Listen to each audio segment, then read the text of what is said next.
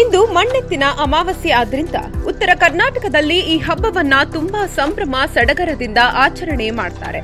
ಅದರಲ್ಲೂ ಮುದ್ರಣಕಾಶಿ ಗದಗ್ನಲ್ಲಿ ಈ ಹಬ್ಬಕ್ಕೆ ಕೊಂಚ ಮನ್ನಣೆ ಜಾಸ್ತಿ.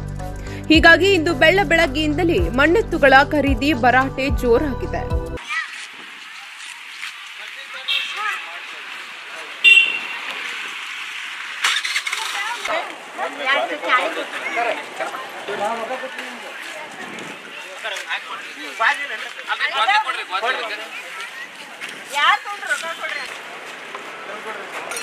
ನಗರದ ವಿವಿಧ ಏರಿಯಾಗಳಲ್ಲಿ ಬಗೆ ಬಗೆಯ ರೀತಿಯಲ್ಲಿ ಮಣ್ಣಿನ ಬಸವಣ್ಣಗಳನ್ನ ಬಣ್ಣ ಬಣ್ಣದಿಂದ ಶೃಂಗರಿಸಿ ಮಾರಾಟ ಮಾಡಲಾಗ್ತಾ ಇತ್ತು.